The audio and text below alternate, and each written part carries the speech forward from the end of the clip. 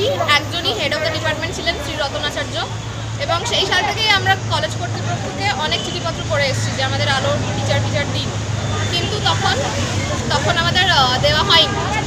তারপর দু হাজার একুশ সালেও আমরা আবার শিক্ষা পরিষদকেও চিঠি লিখি। মানে যেমন ডিপিআই বিকাশ ভবনেও আমরা চিঠি দিই কলেজ কর্তৃপক্ষকেও দিই প্রিন্সিপালকেও দিই টিচার্স কাউন্সিলেও দিই।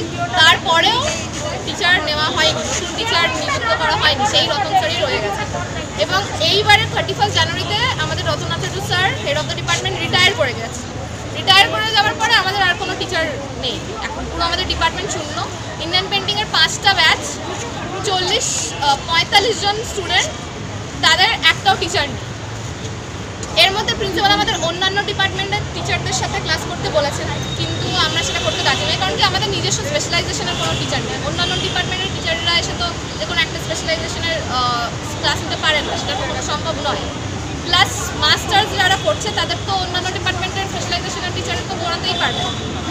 তো তাহলে নতুন নতুন ব্যাচ নেওয়া হচ্ছেই বা কেন?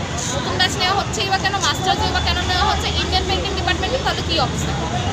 আমাদের স্টুডেন্টদের কোনো ভবিষ্যৎই নেই।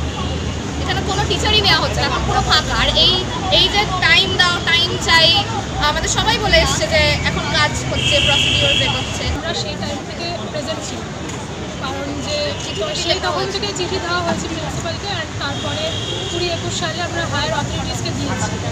এবং শেষ মুহূর্তে যখন আমাদের দেওয়া ঠিক আছে সো এখন আমরা এটা করতে পারব।